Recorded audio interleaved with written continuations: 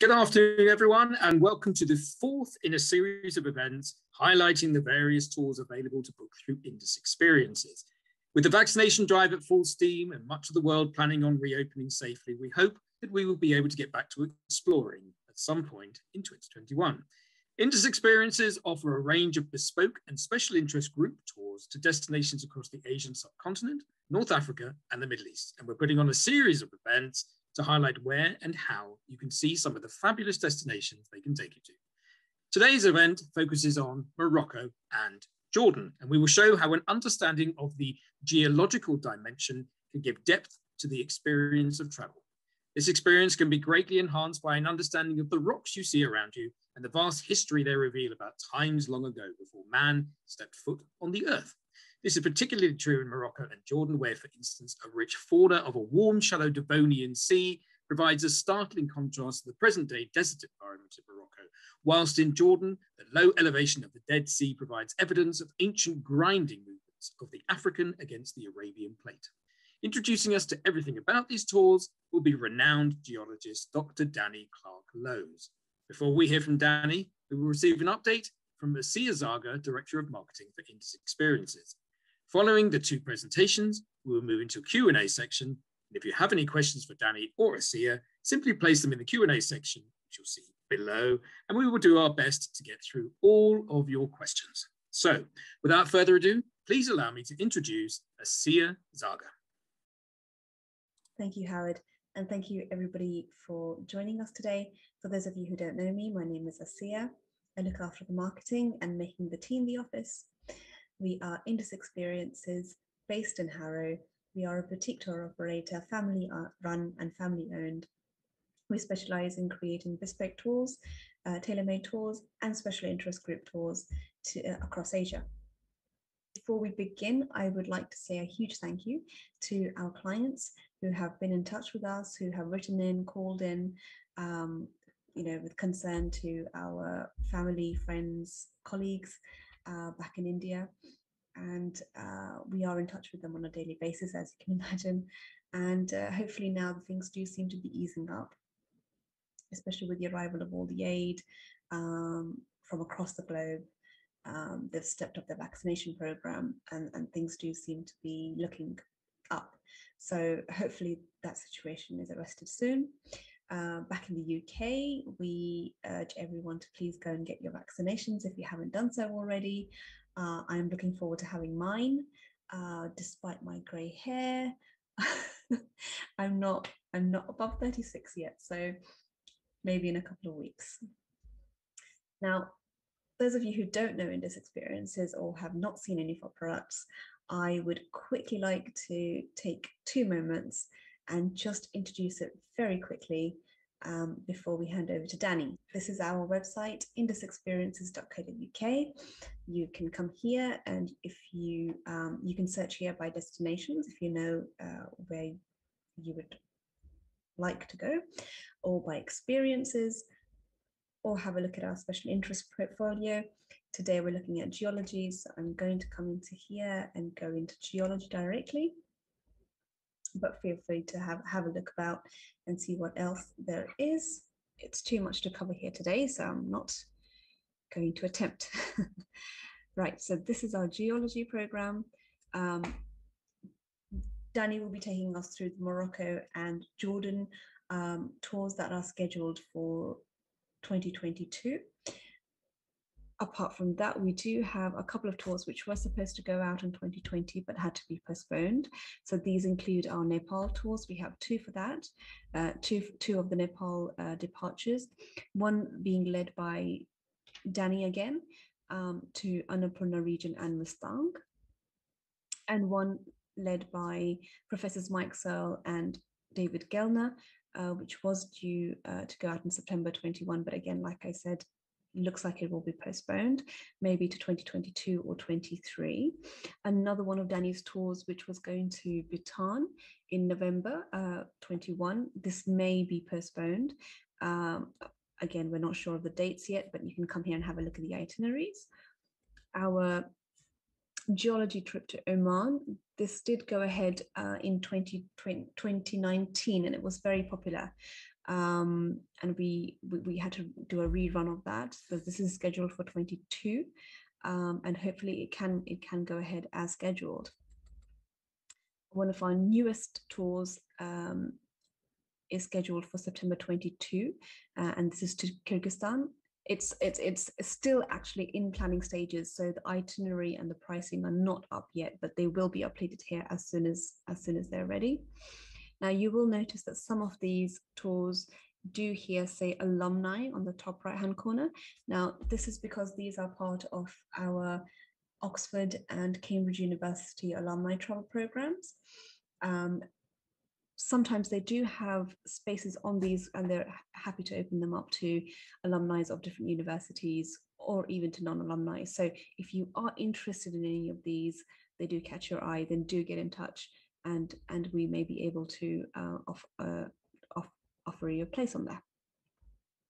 Now these tours typically do um, have about 12 to 16 participants. And of course, like I said, they're all run by experts um, like Danny. Um, so if you are interested, you can get in touch by phone, by email, you can request a callback, or if you would like to come in and see us face to face, I'm happy to report that as of uh, Monday, uh, we are officially able to um, organize face-to-face meetings here in the office, socially distanced, of course, with all the measures in place. Um, we had a client come in earlier this week, and it was absolutely lovely to to see to see them, and and take them through their uh, through their itinerary and what they wanted to do. So if you are interested, then then then we are able to do that. Alternatively, we can set up a consultation by Zoom if you would prefer, or by email and by phone. So without any further delay, I would like to hand you back so you can we can all hear about uh, the geology trips that Danny will be leading to Morocco and Jordan. Thank you very much for joining us today. So let me now hand over back to Howard, who will connect us to Danny shortly. Lovely, lovely. Thank you very much, Asir. Um, obviously, yes, we do hope that the situation in India improves very, very quickly and we can get back to exploring the country as soon as possible. Um, and we wish everyone all the best over there. Um, for those of you who would like to get in touch with the team at Indus Experiences after the, after the event, we will place their contact details in the chat box. Uh, and if you don't know how to get to the chat box, just click on chat at the bottom of the screen and it will appear on, on the right hand side. Uh, and we'll put uh, contact details in there so that you can get in touch to discuss some of those lovely tours that Asir was talking about there. Uh, but now we're going to move on to our main presentation today. And for that, I would like to introduce Dr. Danny Clark-Lowes. Danny is a geologist educated at Cambridge and London universities who has given industry training courses on geology at locations throughout the world. In addition to publishing scientific papers and books on the subject, he has been leading geological tours for Indus Experiences for some four years now. Dr. Clark-Lowes is well qualified to reveal the details of the geological history of the rocks seen on tours to Morocco and Jordan, having devoted much of his career to the study of the geology of North Africa and the Middle East. So Danny, thank you. Over to you. Thank you, Howard, for that kind introduction. And I'm going to talk about the, or give you a, a tour of both Morocco and Tunisia and show you some of the geological and cultural delights of these two countries. Uh, this will be one tour, but uh, in, in the form of a talk, but uh, it will also actually be two Indus tours, which are taking place next year. Now, Morocco and Jordan lie at each end of the Mediterranean, and indeed Morocco has uh, an Atlantic seaboard as well. And on here is here is Jordan, and here is Morocco. Um, they both belong to the Afro-Arabian plate, um, which moved northwards and collided with um, Eura Eurasia. Um, but on this map, a striking feature is the um, uh, the, the um, Red Sea here. And this Red Sea opened 20 million years ago, which to us geologists is actually quite recently. So for most of geological history, Africa and Arabia were one. Now, the northern margin of the Afro-Arabian plate is this boundary here. And this separates the Afro-Arabian plate from the European plate here and the Anatolian plate here. Most of this boundary runs through the Mediterranean Sea. But in the very northern part of Morocco, um, it forms the Rif Mountains. And in the northern Arabian plate, it forms the Zagros Mountains, which we can see rather more clearly on this cartoon diagram showing the same boundary that I've just been describing. So here are the uh, Zagros Mountains, um, right up in Iran. And the reason I focus on them is to make clear the point that Jordan here lies quite well within the Afro-Arabian plate, quite a bit south of that plate boundary. Whereas, and, and therefore the geology we'll look at in Jordan is very much the geology of the hinterland of this ancient continent. Whereas when we look at uh, the geology of the Atlas Mountains in Morocco, let's just uh, move to the next slide. Here, here's the High Atlas in Morocco. What we're looking at here is um, a mountain chain quite a bit south of the plate boundary, but it's an inverted basin. That's to say a rift basin that formed in Mesozoic times and was inverted in, in the Cenozoic. And to the south of the High Atlas, there's a very major fault called the South Atlas Fault, which runs right along through Morocco, Algeria, and Tunisia. And so you can see here on this interpretation, uh, that forms the High Atlas and the Saharan Atlas. Good, well, let's now um, start our tour of Morocco. And here's a view of the High Atlas. And as we cross the Atlas, um, by the way, the, the name Atlas comes from the Greek Titan god, uh, Atlas. And you might remember he was the one who held up the heavens in all those pictures of the Greek gods. Um, as we cross on this road over the High Atlas, um, we come on the south side to Ait Ben Haddou. Um, this is a rather fascinating medieval town, which is much loved by Hollywood directors. And the film Gladiator was made here, uh, or scenes from that film at any rate, and uh, also scenes from the 1970s film Jesus of Nazareth. And when I was last there, um, people came running out and saying, um, I'll be Mary and uh, I'll be various characters from the biblical story because they're all ready to um, play that role. Um, now, we come to a simplified uh, geological map of uh, Morocco. Um, I'm afraid it's a bit busy. It's um, not quite as simplified as it might be. You can ignore these white lines that run up here. Uh, these are depths to the lithosphere and we don't need to concern ourselves with that. But as we cross over the High Atlas, we cross uh, over two major thrust faults, which uh, uh, are one of the major structural features of the of Morocco. And this one is the South Atlas fault that I mentioned already.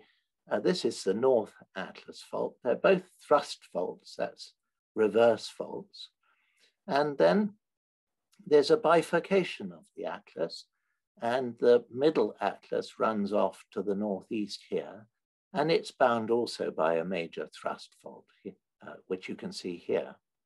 And then to the north is the alpine thrust that we mentioned already related to the plate boundary. To the south of the high atlas, we have an area called the anti-atlas. And this is uh, uh, a basement high where we have Paleozoic rocks, which happen to be very fossiliferous, and Precambrian rocks as well. On the south side of the High Atlas, and we also have these um, yellow areas. These are foreland basins, which are relatively recent depressions in the crust, which are filled with young sediments. And this is the Ouarzazate uh, foreland basin. Now, once we've crossed the atlas and looked at uh, the fossils in the anti-atlas area and the uh, various other characteristics, so they're very beautiful um, oases here. And of course, once we cross the high atlas, we're into typical Saharan desert uh, scenery and climate. We then go back over the high atlas and over the middle atlas up to Fez, which is positioned up here.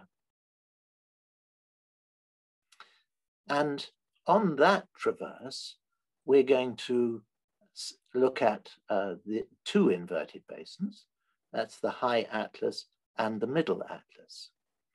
And these are uh, simplified cross sections, but you'll see that they're dominated by faults which are reverse faults, or indeed, like this one here, a fault which has been both normal and reverse.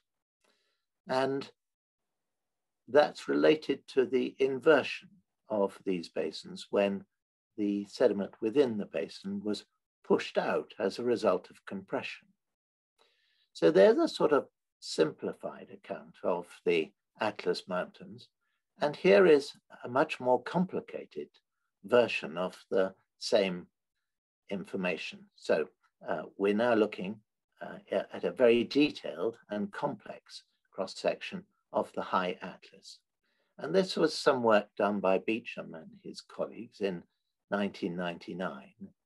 And he um, undertook a, a, study of the uh, mountains, a theoretical construct here, uh, so that this is both geometrically possible and geologically plausible, as they say.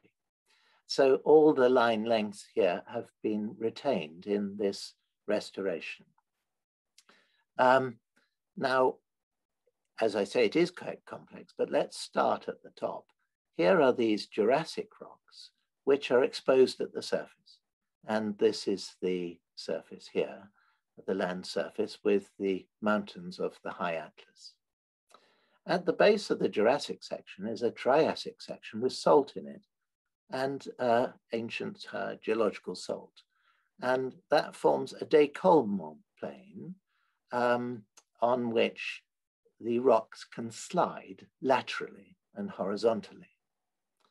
Beneath that, you've got a Paleozoic section, which is repeatedly thrust into thrust slivers or thrust slices. Now, thrust sheets is another term. And um, we can see looking at the faults that these are all reverse faults. And on the south side, uh, some of the fill of the uh, rift basin or the rocks lying within the rift basin have been forced out in an anticline here onto the margins of the rift basin. So that's how the Paleozoic section has behaved. The Mesozoic section has behaved rather differently in response to this compression. Um, and instead you have these pop-up structures, uh, thrust rather, the vertically aligned uh, thrusts, um, creating a pop-up structure which is responsible for the Jebel Tizal and other mountains of the High Atlas. So there's um, an explanation for how the mountains formed uh, within the interior of the African plate rather than at the plate margin. Um, on the north side of the High Atlas, um, you have the North Atlas front fault, and here's a, a theoretical construct of how these rocks form, but this is actually consistent with the actual outcrop structures that uh, you can see.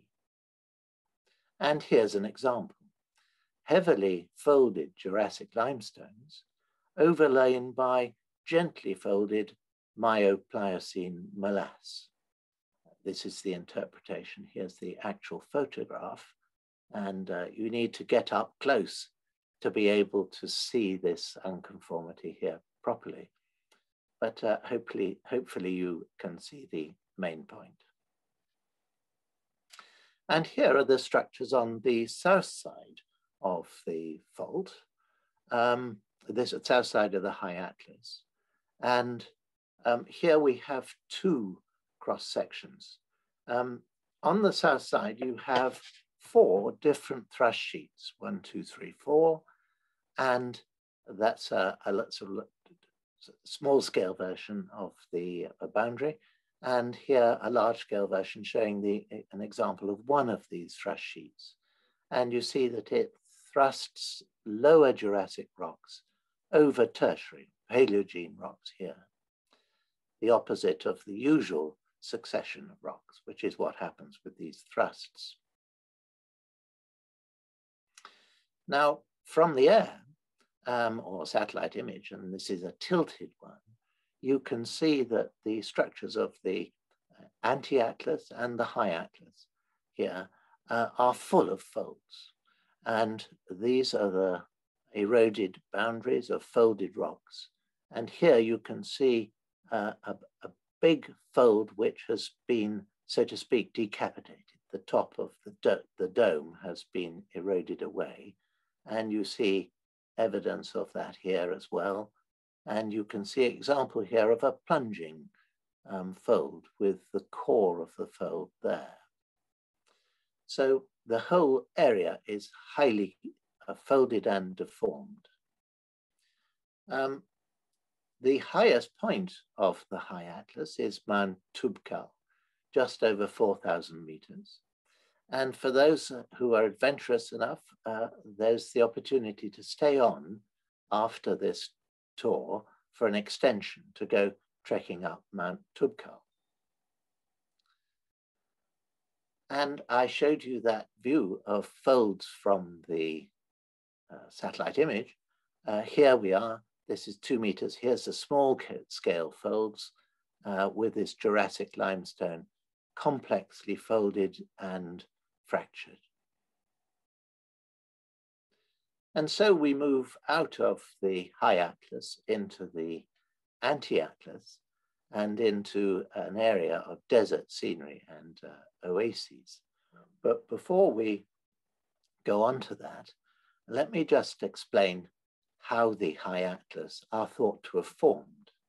And this is another diagram from Beauchamp, a slightly surprising one in that he puts the older rocks or the older events on top of the younger ones. But anyway, we'll work from the top downwards. So during the Triassic and Jurassic time, um, the crust was stretched and the crust thinned as a result and the upper mantle came up to a higher level and released magma up into the rift basin that was forming over this thinned crust.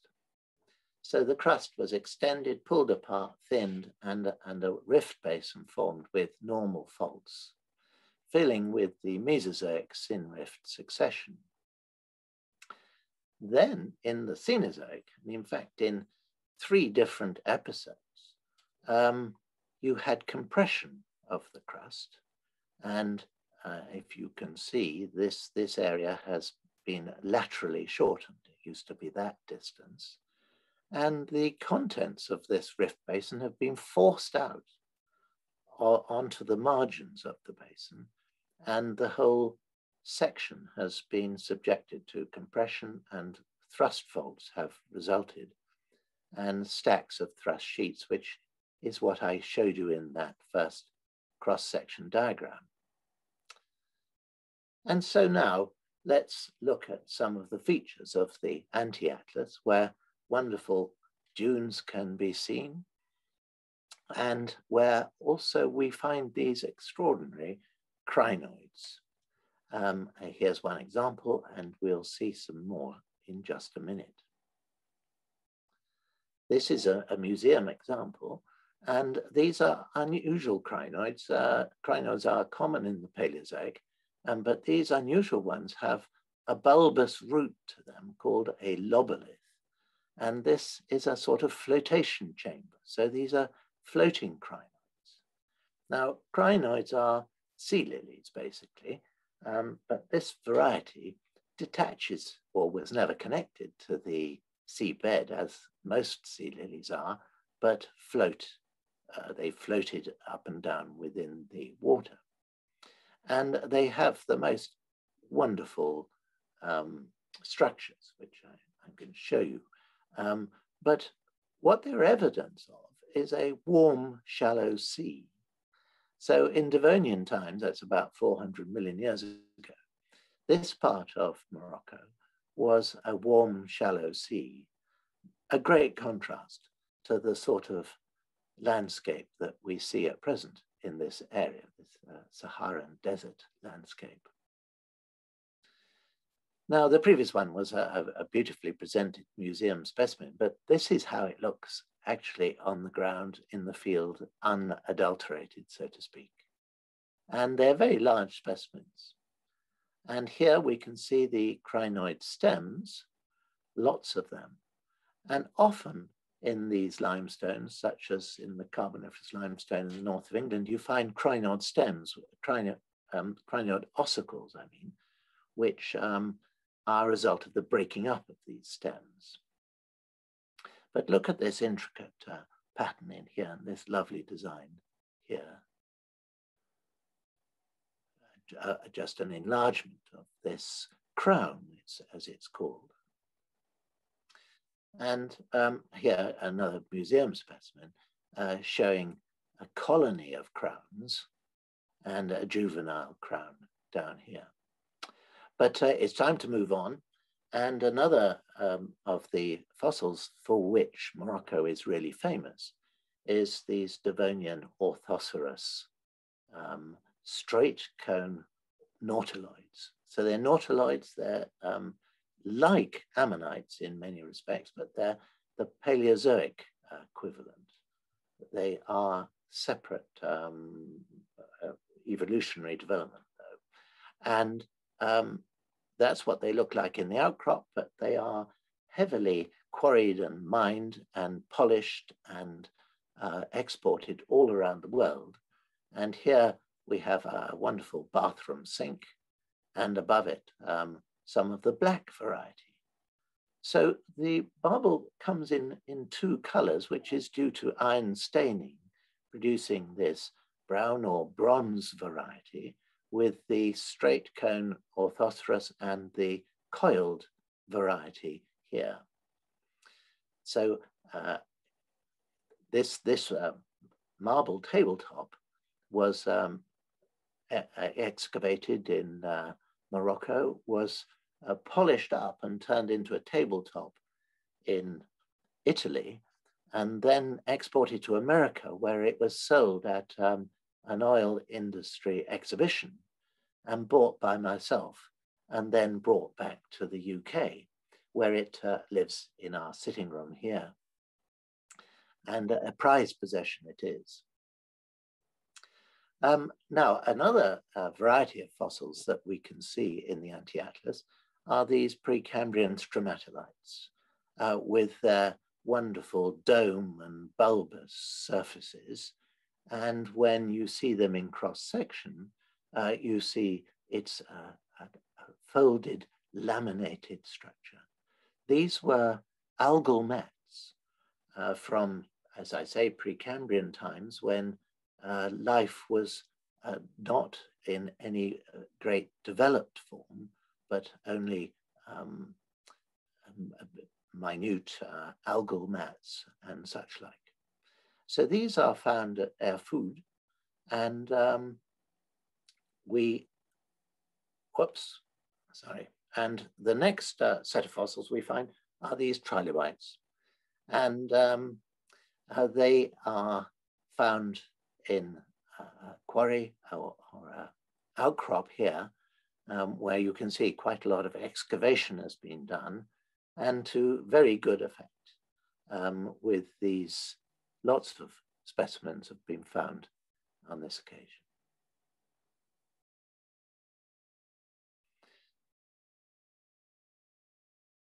I sometimes find that I jump two slides and I can't seem to get back. Yes. Right, sorry. Right, there we are. On to the next. So um, the next feature that we see is a, a very large scale. It's not exactly a, a fossil, it's um, a, a carbonate mud mound. And these are very large scale. You can see trees here. Uh, they form small uh, hillocks on the side of the hill here, and they have a, very interesting history. These mud mounds were formed in deep water um, on the seabed, a bed which had been influenced by and covered by volcanics. And these volcanics had come up faults which were present within the seabed strata and where um, large uh, uh, amount of um, brines and hydrothermal fluids were emerging. And they caused the precipitation of uh, carbonate, making these large mud mounds, which were then covered by uh, mud, um, which was much softer than the carbonate mud mound, so that when um, we see them uplifted, exhumed, that is, and uh, emergent at the surface, all the clay that used to cover them has been eroded away, and you see these sea mounds, sea mud mounds that used to be on the sea floor exposed at the surface. Um, we also find these rather fascinating fossils called trace fossils. So they're not actual organisms, um, but you can see the trace of the organism as it burrowed along and uh, excavated the seabed looking for nutrients to eat. I mentioned that um, we leave the anti-atlas and cross the high atlas and then the middle atlas. And um, when crossing the middle atlas, we go through the Ziz Valley, which is cut through Mesozoic limestones. And although they appear to be fairly horizontally bedded here, in fact, in the large scale structure of the Middle Atlas, um, we're seeing the same thrust faults with the uh, sedimentary strata within the uh, rift basin being forced out onto the margins. And then we arrive at Fez, and this is arguably the cultural capital of Morocco, and we enjoy looking at some of the architecture and features there. We find time also to go to Volubilis, a Roman city just outside Fez, with uh, the most dramatic architecture and temples, and as a matter, Corinthian columns, and the storks take a particular like to, liking to the Corinthian columns and build their nests on the top of them. Uh, the last slide was simply to show you that uh, the Romans occupied uh, the coastal parts of North Africa, and um, uh, tangerines must have been something they particularly enjoyed because they called their province in Morocco uh, Tangerine, Mauritania. Wonderful mosaics at Volubilis. And then we uh, find our way to Marrakesh for the end of the trip and have a little bit of time there to see some of the delights, the snake charmers and the souk. So now a time to move to look at some of the geology and the culture of Jordan.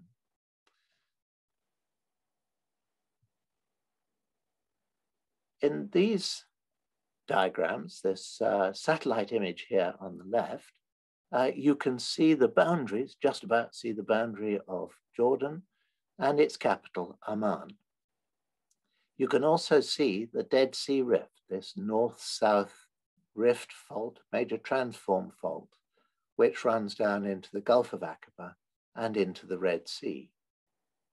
On the right, you can see a topographic map showing that uh, we have mountains running up to 3,000 meters, not quite as high as the High Atlas.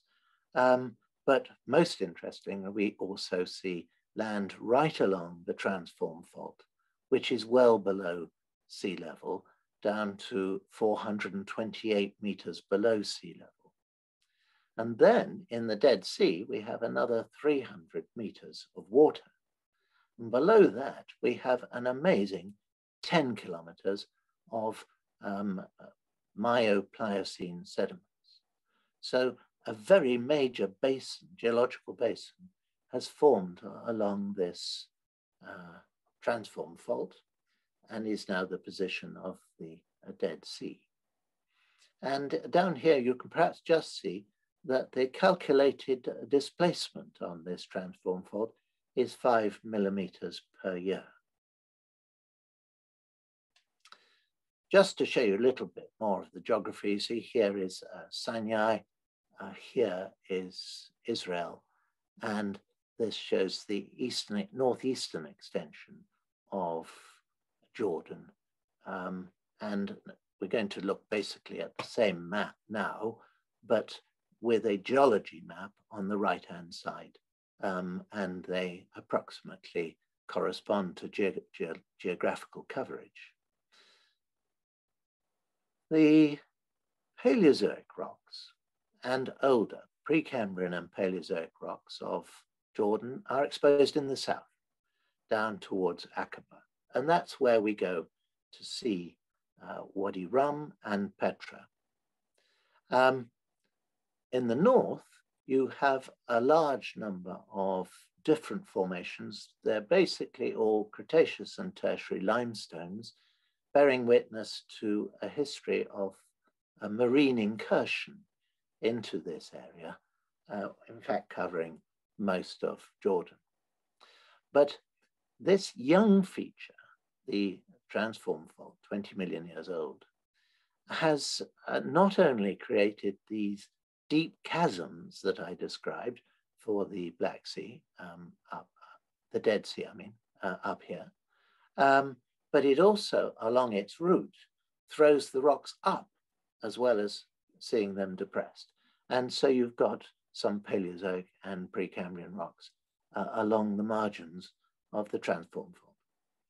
So there's a, brief introduction to the geology, and we're now going to go and look at uh, Wadi Rum, down in the south, um, where the film uh, Lawrence of Arabia was shot. And we will be able to see some of the film locations uh, for that film. And uh, it was here that um, Lawrence uh, assembled his Arab army for the Arab revolt of the First World War, which was an attack across the desert to Aqaba and a, a successful uh, venture, military venture. And we will have a chance to uh, go camel riding for those who wish to, and uh, imagine what it was like for Lawrence, or indeed for Peter O'Toole, uh, as they uh, rode camels in this Wadi Rum. The rocks of Wadi Rum, uh, strangely, are called the Ram group, and here they are, uh, the Cambro-Ordovician sandstones sitting above the Precambrian basement at a boundary that runs approximately along here. And uh, now just to give you a flavor for the Precambrian rocks, these are granitic rocks shot through with dolerite dikes, these black dolerite dikes, which have subsequently been greatly deformed, and they're about two or three meters in, uh, in thickness. Um, uh, and so this is actually quite a mountain that we're looking at. Here. And so the, the geology of the Cambrian and Ordovician of this region um, is very similar to that of uh, southern Libya and southern Algeria, where rocks are deposited. And these are called informally Nubian sandstones. And it refers to the fluvial deposits and some, some thin estuarine deposits uh, laid down on a vast plain uh, within the interior of the African continent, shedding sediment, transporting sediment northwards to the plate margin and to the seas and oceans, uh, Tethys Ocean on the plate margin. Uh, they're characterized by these sets, which uh, you can see are dipping in this direction. They're all dipping in the same direction, showing that the river was flowing always northwards and northwestwards. So they're interesting um, rocks to look at. And on a larger scale, um, here is the Um Ishrin sandstone, the red sandstone, one of the formations of the Ram group in the Cambrian. And it's within these rocks that the Petra uh, temples are all formed. Um, I'm going to have to speed up a little bit, I think, as we might be uh, running out of time. Um, but once at Petra, uh, we see temples carved out of the Um Ishrin sandstone. This is a Nabatean capital city, as you know, from the first century BC. And wonderful temples. We go, we enter into it through the Siq Gorge and have a, a great opportunity to see these temples, which uh, David Roberts uh, loved very much, a Victorian lithographer, and became quite famous with his illustrations of these temples. And above the temples is the, in the Um Ishrin sandstone, is the white Disi formation. And um, these rocks are right at the top of this cliff. And uh, perhaps they represent the dizzy heights of this exposure. You get amazing iron um, mineralization within these sandstones because they're continental. You've got uh, oxidized form of iron, which migrates through the deposited sandstones, laying down these wonderful uh, features of what's called a roll front precipitation of um, iron minerals. More of, of the same. And so we pass through Aqaba, where we'll get a chance to look at uh, ancient and present day corals and enjoy a seaside resort. And then we come now to the, to the Dead Sea, and this is the final uh, part of this story. Um, the Dead Sea is a quite extraordinary place. Um, it's the lowest uh, uh, water surface anywhere in the world at 428 meters below sea level. It's not really a sea at all, it's a lake, but it's always been called the, the Dead Sea. Um, Herod was very uh, keen on it because uh, he liked the hot mineral springs and the aquatic plants that you get there and uh, the salt water so he could uh, float in the water. And it's all caused by the uh, transform fault here, uh, up which you've got hot water coming from great depths full of minerals. And the desert environment means that all the water has uh, evaporated um, and the uh, remaining water has become increasingly salty.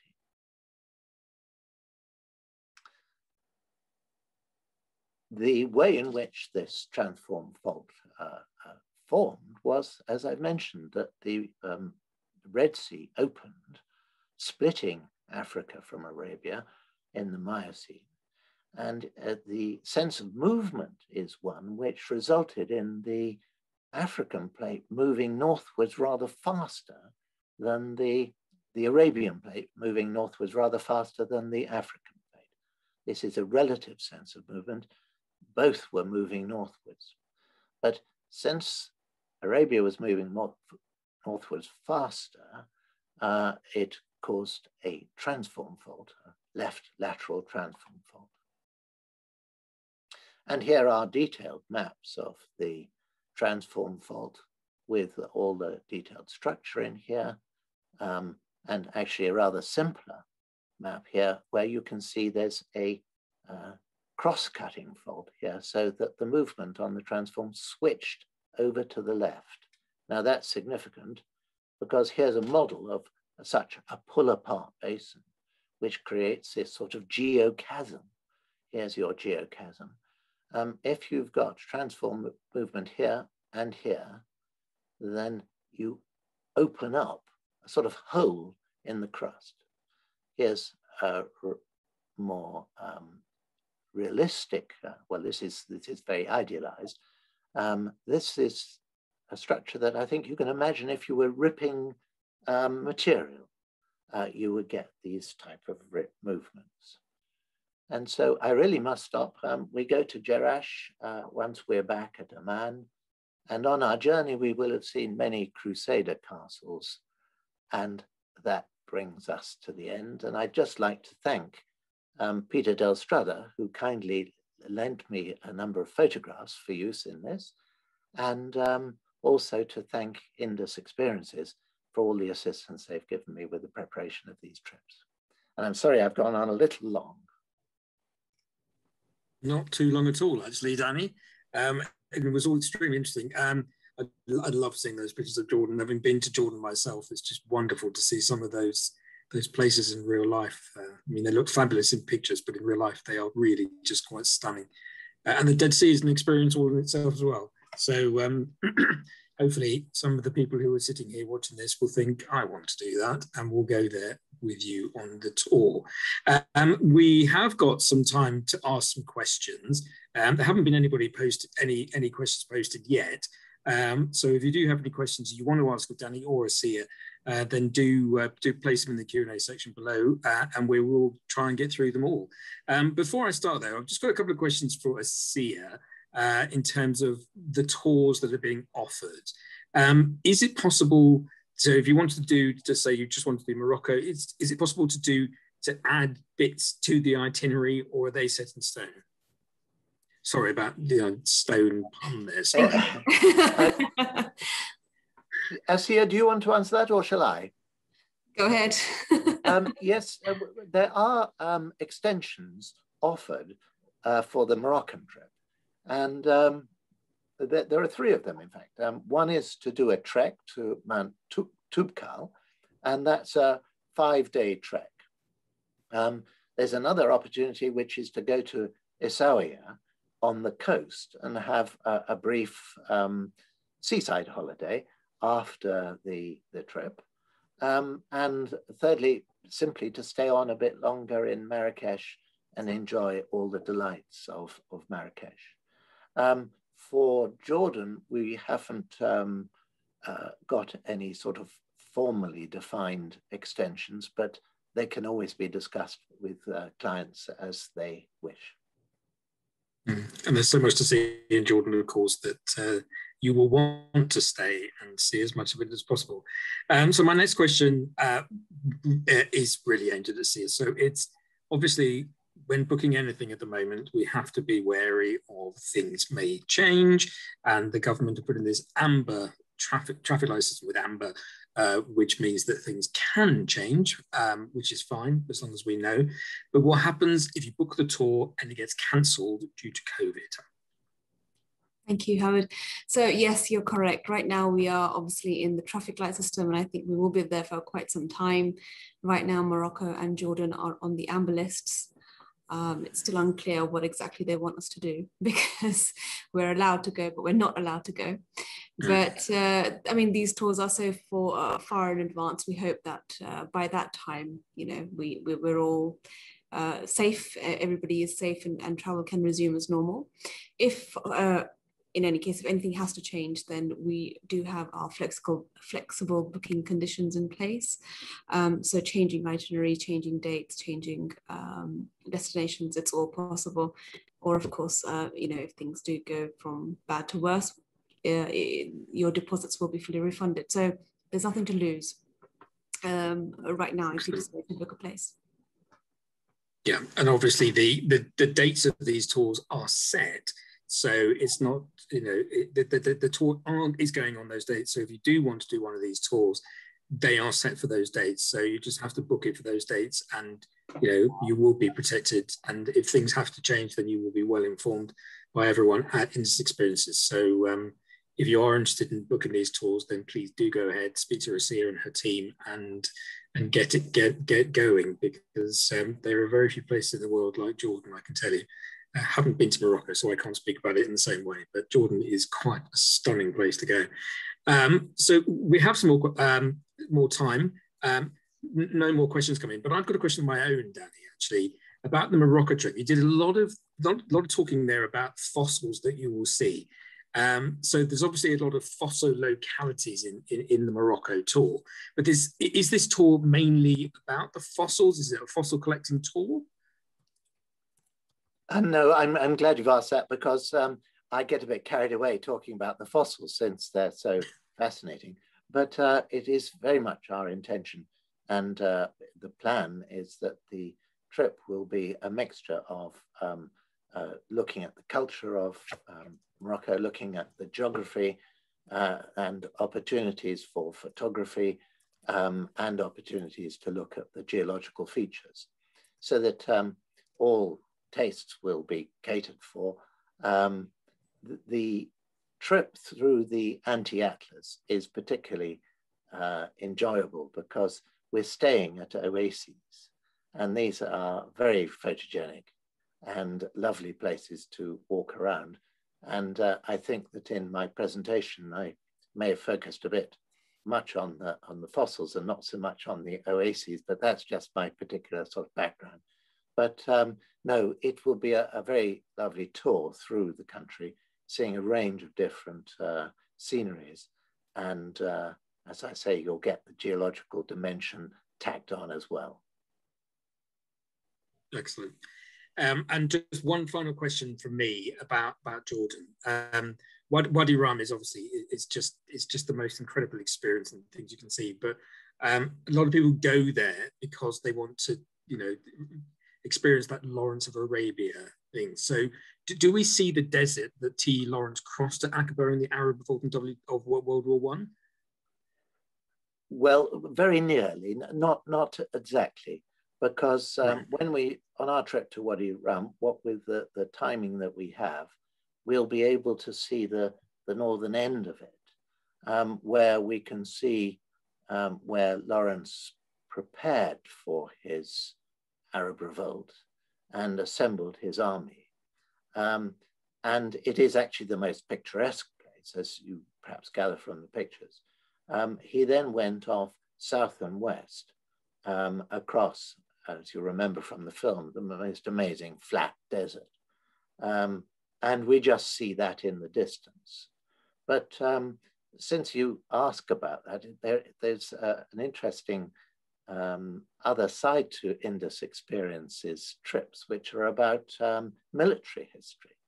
And uh, I know that uh, there are military history trips within um, India, um, but there is a, uh, an individual that I've met who has taken a camel and actually looked at all of the route uh, that uh, Lawrence took and also the other sites along the railway line where he blew up the railway line.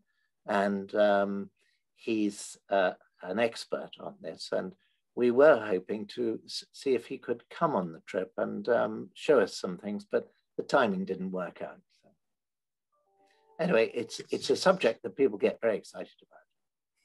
Yes, they do. They do, um, and it's very it is it is very interesting.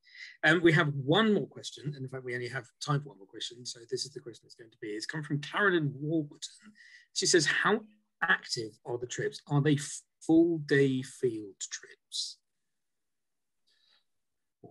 On a typical day, um, we have a good breakfast at our hotel and we'll set off in our um, vehicles, which sometimes are four-wheel drive vehicles, and sometimes it's not necessary to, to have that, but they're um, vehicles that will either have four or six people in them. And um, we'll find um, a location to stop at for uh, photography and for uh, looking at the geology and looking at the scenery. And uh, then at lunchtime, we'll see if we can find an acacia tree to sit underneath and have a picnic. And we found that, uh, and this is the best way to organize things, is to, is to take a picnic with us rather than trying to stop at a restaurant at lunchtime, which can be difficult uh, and time consuming is a real problem. Um, so we have a picnic and uh, then we'll look at other scenes in the afternoon. So we try not to be too much time in the vehicles. Um, and when we stop, we'll do some walking. And sometimes we'll walk up a wadi. And so we'd, we'd walk um, perhaps uh, uh, two or three miles, um, stopping and looking at things. And so we'll get plenty of exercise, plenty of touring, and a nice lunch, and arrive at our hotel in the evening um, in time to relax a bit before dinner. And often during that time, when we might have um, a glass of beer, uh, we might talk about some of the things we've seen during the day. And I'd uh, let participants know what we're going to be doing the next day. Excellent. Uh, and then Carolyn has actually even said, excellent. So there you go. Uh, and while you were talking there, we had a question from Norman Nimmo Smith. He said, will there be off-road travel on the trip to see desert features such as wadis? But I believe you just mentioned that in what you were saying. So that pretty much answers Norman's question too. Yes, I think so. That's right. We, we will we will be traveling um, off the road some of the time. Yes, sounds fantastic to me. I'm afraid we've run out of time. We haven't got any time for any more questions. Uh, I noticed that uh, someone here who's this, uh, Paul Newby has said something about uh, an RGS members evening a few years ago. The speaker showed us a spectacular collision between a lorry and a train at a level crossing on the Lawrence Railway line. Okay. That sounds, that sounds great. Um, thanks very much for that, Paul. Uh, sorry that you had to hit caps lock while you were doing that, but um, we, um, we, we appreciate you telling us about that uh, that collision between the lorry and the train. Um, I'm afraid that's that's all we've got time for for today. Uh, if you have any further questions for for Asiya or Danny, then please do get in touch with Asiya. She's put the detail, uh, contact details uh, in the right here, and in fact they're coming up on the screen right now. Um, so that's how you can get in touch with Experiences. Go to the website, you can call them, uh, you can email them just to get further information and, uh, and they'll be able to help you with um, information about these tours and the other tours, of course, that are going on. Um, so that is the end of the fourth in our series of events promoting Indus Experiences tours. We have more interesting events planned in the coming months, and we hope you can join us for those as well. Thank you very much to Asiya and Danny for their valuable input today. All of the team at Indus Experiences are excited by the recent government announcement that international travel could resume this week. However, it comes as no surprise that none of our major destinations are as yet on the green list, and indeed we support this cautious approach. We stand by the FDCO and will continue monitoring the situation, COVID-related or otherwise. On a really positive note, we're delighted to announce that our offices in Harrow are now open for COVID-safe, face-to-face holiday consultations, and we welcomed our first visitors this week. We can't wait to help you design your perfect holiday, so please make an appointment and pop in for a chat to discuss your trips in 2021 and 2022 when we hope to be traveling to these fabulous destinations again. In the meantime, please follow government advice and stay safe. Thank you very much for coming.